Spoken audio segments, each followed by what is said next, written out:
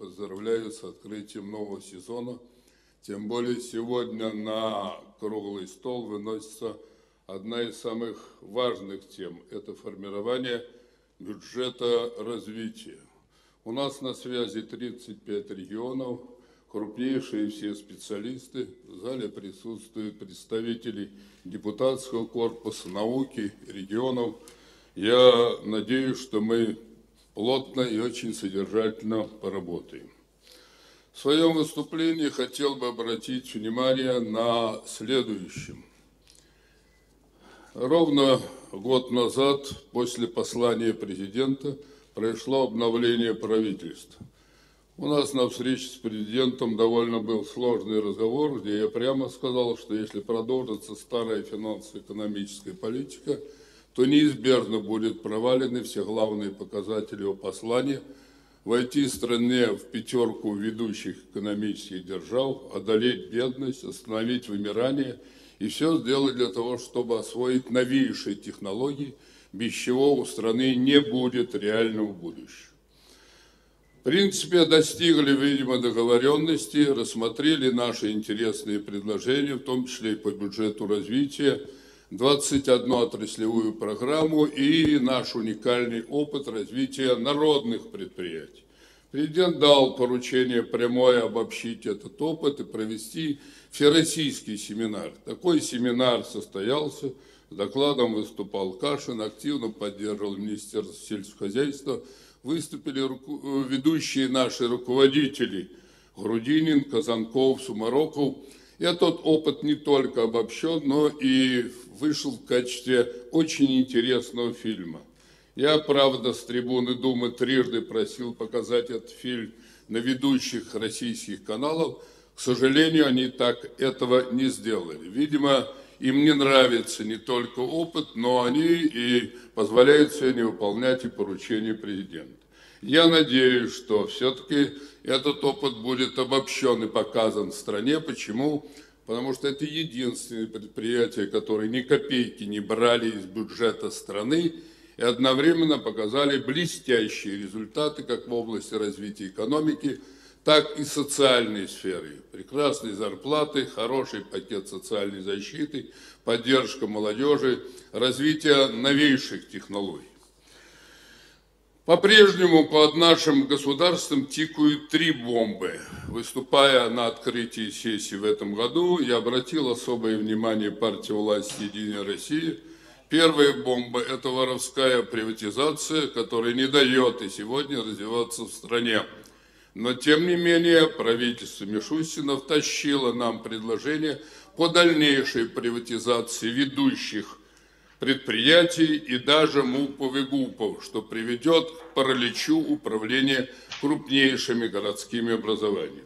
Мы, например, в Новосибирске категорически против этого, и наш мэр Локоть успешно управляет хозяйством, потому что контролирует главное, как обеспечивать нормальное функционирование крупнейшего мегаполиса. Новосибирск входит в тройку крупнейших городов страны. Вторая бомба – это дикое неравенство, дальнейшее расслоение, которое нарастает в стране, и это неизбежно приведет к социальному катаклизму.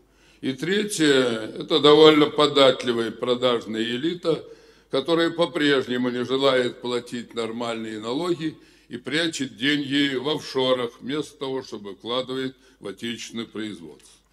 После выступления на открытии Думы, казалось бы, согласились, обсуждали с руководством. Через послезавтра будет очередная встреча с президентом. Я хочу, чтобы он в своем послании, но, видимо, будет скоро, обратил особое внимание на эти три угрозы, которые только усилились за прошедший год.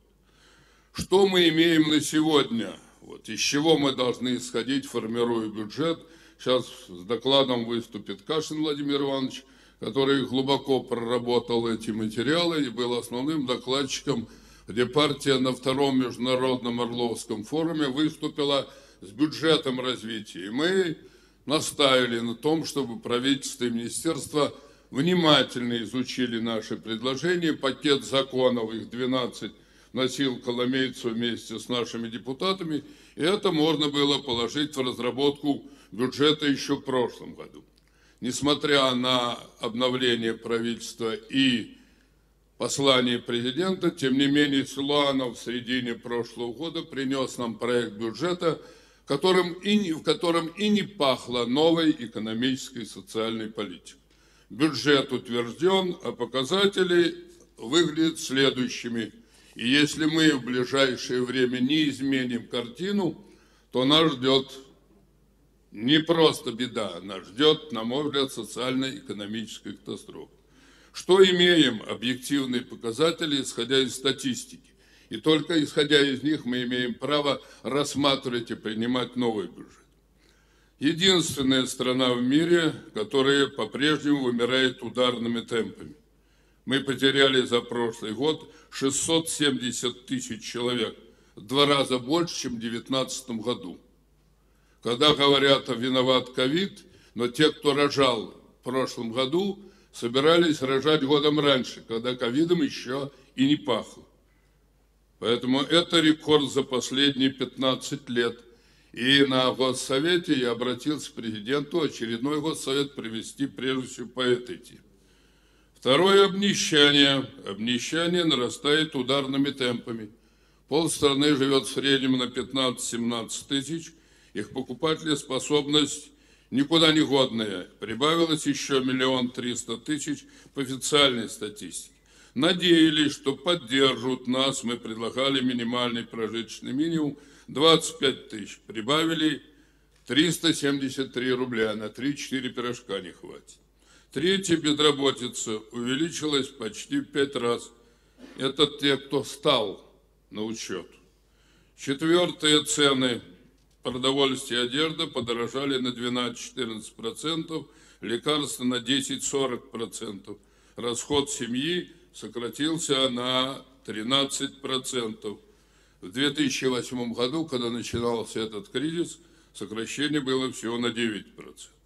Пенсия средняя составила 14,7 тысяч. Народу не в, народ не в состоянии выжить, полезли все в кредит.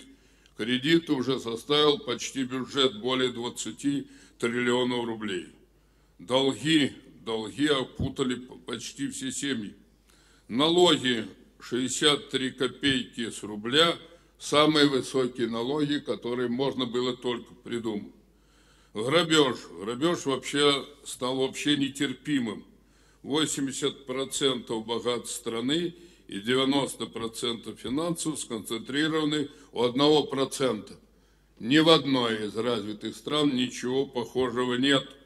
Меня больше всего поразило, что иностранных инвестиций за прошлый год пришло 1,4 миллиарда долларов, 103 миллиарда рублей – 0,1 ВВП, а грабанули 104 миллиардера, 4,5 триллиона, из них 3,5 триллиона вывезли из страны. Если бы эти средства были аккумулированы, нам не хватало 5 триллионов, чтобы залатать и помочь всем, и малому, и среднему бизнесу, и науке, и образованию, и молодежи, и всем остальным. Износ оборудования продолжает нарастать, составил 50-60% даже в нефтегазовой отрасли. Ну и падение ВВП, говорят, у нас лучше, чем у других. Нам-то вообще-то особо падать уже некуда. 3,1%. Но металлообработки 27, чтобы понимать, где мы падаем. И электроника минус 15, хотя мы тут отстаем. И последнее когда сейчас будет Кашин докладывать, ты задать, вы должны, должны задать себе вопрос, а есть ли у нас ресурс? Я должен сказать, столько ресурсов, сколько у нас есть, нет ни у кого. Но весь вопрос в том, что их рассовывают по карманам в основном толстосумы и не хотят даже хранить деньги своих собственных банках. Я посмотрел оценка нашей минеральной сырьевой базы. Мы наставим на ее национализации. 30 триллионов долларов. На всех хватит. Все практически могли быть миллионерами. Мы первые по газу, по алмазам, по серебру, по никелю, по титану, вторые по золоту. У нас больше всего лесов, земли, с пресной воды. Это стратегический ресурс. У нас уникальный опыт ленинско-сталинской модернизации, преобразования, Примаковско-Масляковской преобразования. Но по-прежнему ползем по гайдаровской вороватой колее, из которой так и не выскочили. Выход очевиден. Нужен новый курс, нужна новая бюджетная политика, нужна национально ориентированная финансово-экономическая политика правительства. Мы предлагаем такой вариант и надеюсь, что сегодня нас услышат. Мы заранее готовим рассмотрение этой проблемы, потому что к первому чтению бюджета все готово, готово, все предложила наша команда вместе с Академией наук.